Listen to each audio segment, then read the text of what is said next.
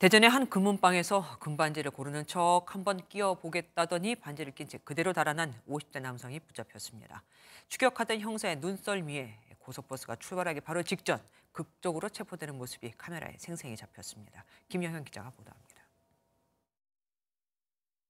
한 남성이 금은방에서 금반지를 껴보더니 계산해달라며 신용카드를 건넵니다. 주인이 카드를 받아 결제하려고 했더니 정지된 신용카드로 뜹니다. 잠깐 나갔다 오겠다는 남성. 5분 있다 다시 돌아와서는 이번엔 더 큰 금반지를 보여달라고 합니다.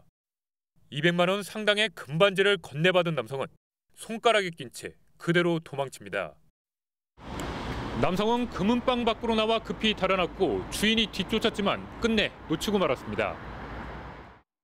분량 좀 많이 나가는 거 다섯 돈짜리를 보여달라고 해서 보여줬더니 끼고 바로 도망갔다.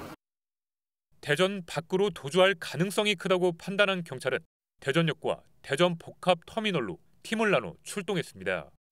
대전 터미널에 도착한 형사가 하나하나 버스를 확인하던 중 유리창을 통해 인상착의가 비슷한 남성을 발견합니다.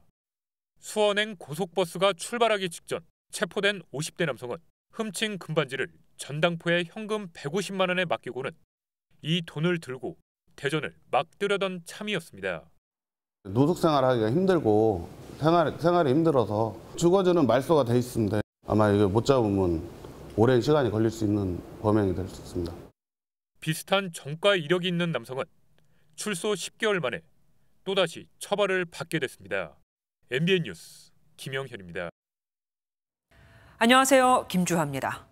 공정하고 신속한 MBN 뉴스 유튜브를 통해서도 만나보실 수 있습니다. 특히 더 많은 뉴스와 라이브를 보고 싶으시다면 오른쪽을 눌러서 구독하시면 됩니다. 어렵지 않죠? 빠르고 정확한 뉴스로 계속 찾아뵙겠습니다. MBN 뉴스를 시청해주신 여러분 고맙습니다.